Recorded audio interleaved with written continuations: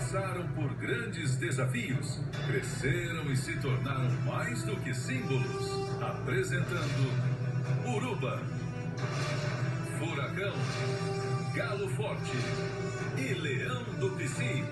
Eles formam os semifinalistas e você os acompanha aqui no esporte.